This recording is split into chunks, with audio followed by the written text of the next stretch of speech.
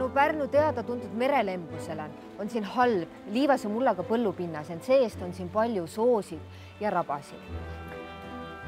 just seetõttu hakkasid pärnakate ettevõtlikud esivanemad kohe suure jäämineku järel arendama siin Sindi eeslinnas Pulli asulat.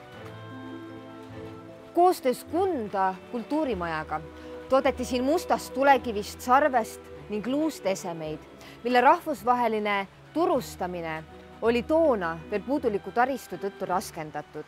ent kohaliku rahva algatusvõimest on see suurepärane märk. miks ma seda kõike räägin?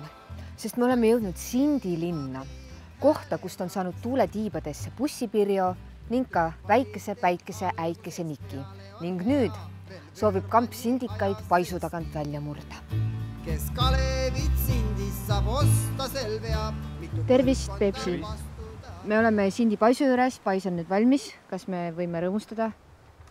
pais on valmis juba aastast tuhat kaheksasada kolmkümmend kaks, et äh, nüüd äh, me võime selles suhtes rõõmustada, et äh, aastaid kestnud keskkonnaprobleem Pärnu jõe jaoks on saamas kohe-kohe lahenduse, sest Keskkonnaagentuur projekti elluviijana on sõlminud siis riigihanke tulemusena ehitusettevõttega lepingu Sindi paisu likvideerimiseks ja selle asemele kärestiku rajamiseks seega lammutatakse Sindi pais maani maha ja selle asemele rajatakse kärestik, mida mööda pääsevad uudishimulikud kalad meie kaunist Eestimaad uudistama ka teisele poole Sindit.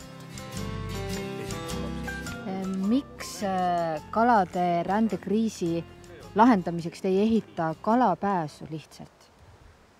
kalapääs on alati äh, selline ütleme, halvem lahendus äh, eluslooduse mõttes kui paisutuse likvideerimine.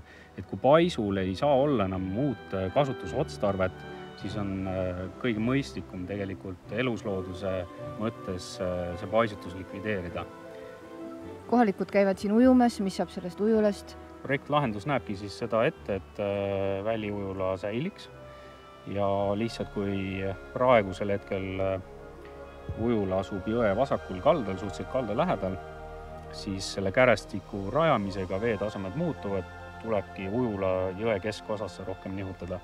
et ujubatoonide peal äh, siis viiakse see ujula jõe keskosasse, et üks osa siis projektist näebki seda ette, et ujula ka rekonstrueeritakse